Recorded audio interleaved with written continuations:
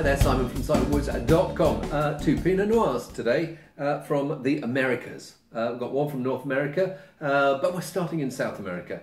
And so this is Estevez, uh, Chilean Pinot Noir from the Central Valley, uh, 2016 vintage. Let's give it a whirl. Young, fresh, easy, toasty berry, um, ever so slightly jammy, touch of the medicinal. Um, not massive in colour, and um, yeah, regular cheap Pinot. Fruit wise, it's okay. Um, maybe if I'm slightly disappointed by it, uh, I'm going to see what it says on the back.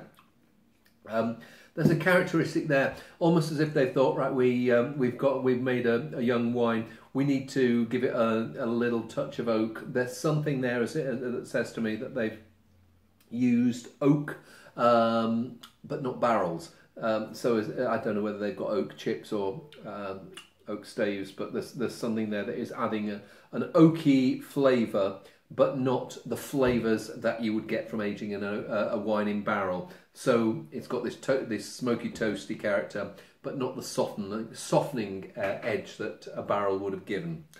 It's okay, and I don't think it's vastly expensive, but it's not it's not fine wine. Right, let's see if um, Parker Station Pinot Noir vintage 2015 is fine wine. Um, uh, Monterey County, San Luis Obispo and Santa Barbara County.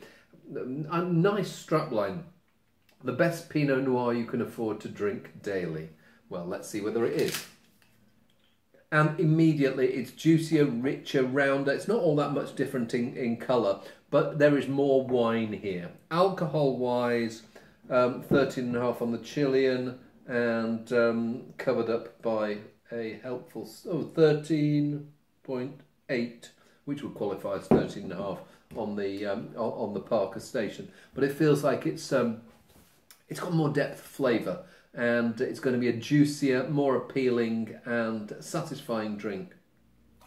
Nice herbal edges to this quite voluptuous cherry, red berry, um, and um, yeah, there's this uh, fresh edge and um, there's this slightly floral edge and um, yeah, enough going on in there to uh, keep you coming back for another sip and one of the wines where I almost think I, I, I probably should need to taste it and pour myself out a bigger slug and give it a sniff, more of a sniff, because um, uh, good Pinot Noir uh, rewards rewards um, coming back and sniffing and sniffing because um, uh, it evolves in the glass and um, different nuances come out each time.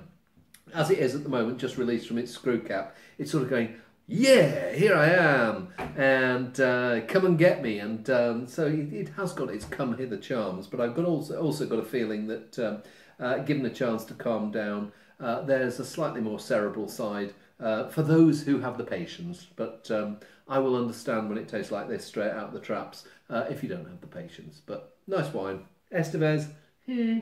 but uh, Parker Station. Two, no, maybe not two thumbs, but a thumb and a half right up. See you soon.